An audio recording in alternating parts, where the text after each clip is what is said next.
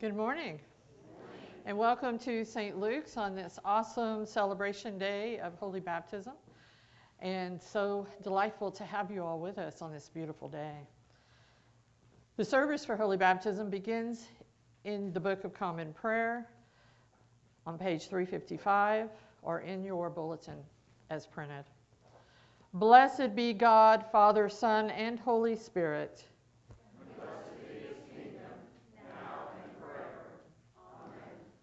There is one body and one spirit.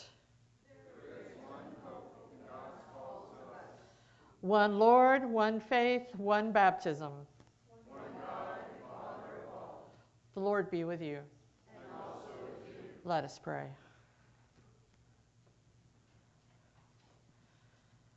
O Lord, mercifully receive the prayers of your people who call upon you and grant that they may know and understand what things they ought to do, and also may have grace and power faithfully to accomplish them.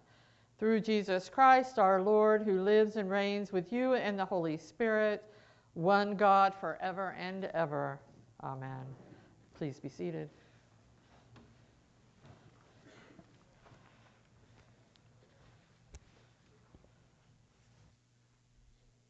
A reading from the book of Jeremiah. Woe to the shepherds who destroy and scatter the sheep of my pasture, says the Lord. Therefore, thus says the Lord, the God of Israel, concerning the shepherds who shepherd my people It is you who have scattered my flock and have driven them away, and you have not attended to them. So I will attend to you for your evil doings, says the Lord.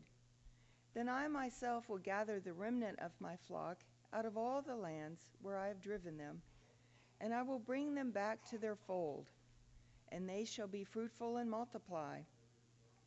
I will raise up shepherds over them who will shepherd them, and they shall not fear any longer or be dismayed, nor shall any be missing, says the Lord. The days are surely coming, says the Lord when I will raise up for David a righteous branch, and he shall reign as king and deal wisely, and shall execute justice and righteousness in the land. In his days, Judah will be saved, and Israel will live in safety. And this is the name by which he will be called The Lord is our righteousness. The word of the Lord. Thanks be to God. Let's say together Psalm 23 as printed in your Pew Bulletin. The Lord is my shepherd, I shall not be in want. He makes me lie down in green pastures and leads me beside still waters. He revives my soul and guides me along right pathways for his name's sake. Though I walk through the valley of the shadow of death, I shall fear no evil, for you are with me. Your rod and your staff, they comfort me. You spread a table before me in the presence of those who trouble me. You have anointed my head with oil, and my cup is running over. Surely your goodness and mercy shall follow me all the days of my life, and I will dwell in the house of the Lord forever. A reading from the letter of Paul to the Ephesians. Remember that at one time you Gentiles by birth, called the uncircumcision, by those who are called the circumcision, a physical circumcision made in the flesh by human hands. Remember that you were at that time without Christ, being aliens from the commonwealth of Israel and strangers to the covenants of promise having no hope and without God in the world. But now in Christ Jesus, you who were far off have been brought near by the blood of Christ. For he is our peace. In his flesh, he has made both groups into one and has broken down the dividing wall, that is, the hostility between us.